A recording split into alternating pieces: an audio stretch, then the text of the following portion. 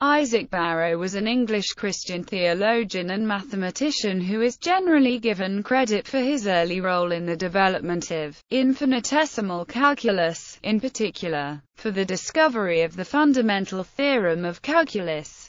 His work centered on the properties of the tangent. Barrow was the first to calculate the tangents of the Kappa curve. Isaac Newton was a student of Barrow's, and Newton went on to develop calculus in a modern form. The lunar crater Barrow is named after him. Biography Barrow was born in London. He was the son of Thomas Barrow, a linen draper by trade. In 1624, Thomas married Anne, daughter of William Buggin of North Cray, Kent and their son Isaac was born in 1630. It appears that Barrow was the only child of this union, certainly the only child to survive infancy. Anne died around 1634, and the widowed father sent the lad to his grandfather, Isaac, the Cambridgeshire J.P., who resided at Spinney Abbey. Within two years, however, Thomas remarried. The new wife was Catherine Oxenden, sister of Henry Oxenden of Maidacon, Kent. From this marriage, he had at least one daughter, Elizabeth, and a son, Thomas, who apprenticed to Edward Miller, Skinner, and won his release in 1647, emigrating to Barbados in 1680.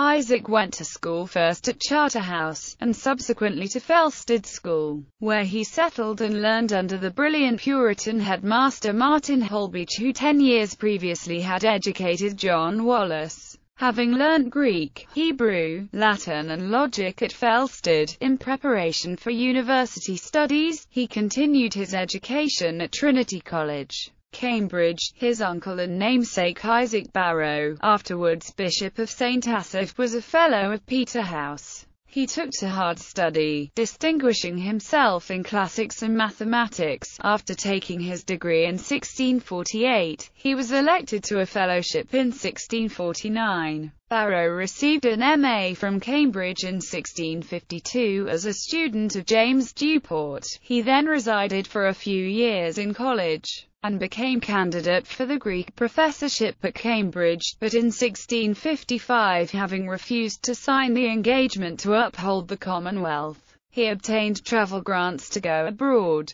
He spent the next four years traveling across France, Italy, Smyrna and Constantinople, and after many adventures returned to England in 1659. He was known for his courageousness. Particularly noted is the occasion of his having saved the ship to which he were upon by the merits of his own prowess, from capture by pirates. He is described as low in stature, lean, and of a pale complexion, slovenly in his dress, and having a committed and long-standing habit of tobacco use. In respect to his courtly activities his aptitude to wit earned him favour with Charles II, and the respect of his fellow courtiers. In his writings one might find accordingly, a sustained and somewhat stately eloquence, an altogether impressive personage of the time, having lived a blameless life into which he exercised conduct with due care and conscientiousness.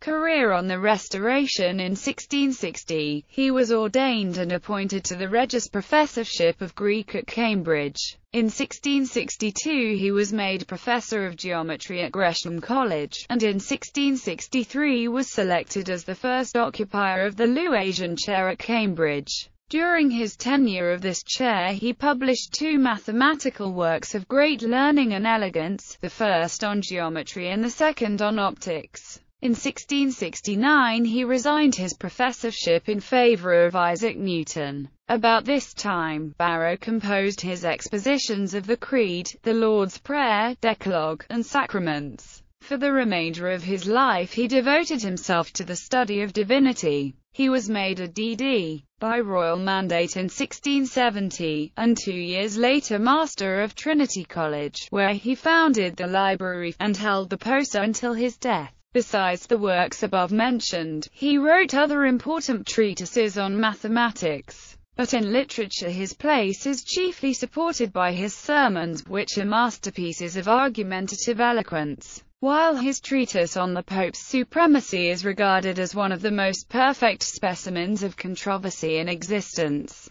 Barrow's character as a man was in all respects worthy of his great talents, though he had a strong vein of eccentricity. He died unmarried in London at the early age of 46, and was buried at Westminster Abbey. His earliest work was a complete edition of the Elements of Euclid, which he issued in Latin in 1655, and in English in 1660. In 1657 he published an edition of the Data. His lectures, delivered in 1664, 1665, and 1666, were published in 1683 under the title Lectiones Mathematicae. These are mostly on the metaphysical basis for mathematical truths. His lectures for 1667 were published in the same year, and suggest the analysis by which Archimedes was led to his chief results. In 1669 he issued his Lectiones Opticae Geometrica. It is said in the preface that Newton revised and corrected these lectures, adding matter of his own. But it seems probable from Newton's remarks in the fluxional controversy that the additions were confined to the parts which dealt with optics.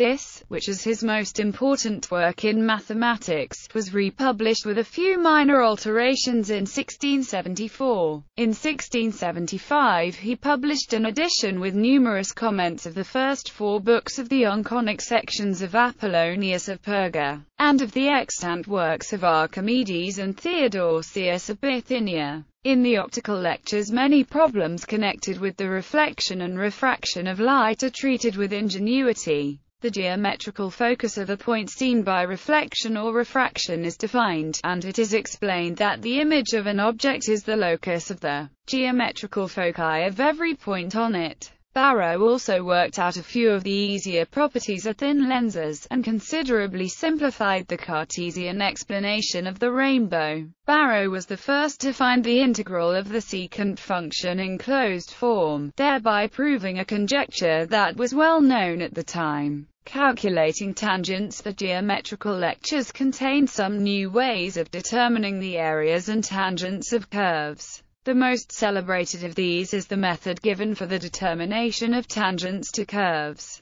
And this is sufficiently important to require a detailed notice, because it illustrates the way in which Barrow, Hudde and Schleser were working on the lines suggested by Fermat towards the methods of the differential calculus. Fermat had observed that the tangent at a point P on a curve was determined if one other point besides P on it were known, hence, if the length of the subtangent mount could be found, then the line TP would be the required tangent. Now Barrow remarked that if the abscissa and ordinate at a point Q adjacent to P were drawn, he got a small triangle PQR, so that K trademark MP equals QR, RP. To find QR, RP he supposed that x, y were the coordinates of P, and x minus E, y minus are those of Q substituting the coordinates of q in the equation of the curve, and neglecting the squares and higher powers of e and r as compared with their first powers, he obtained e. A. The ratio A, E was subsequently termed the angular coefficient of the tangent at the point.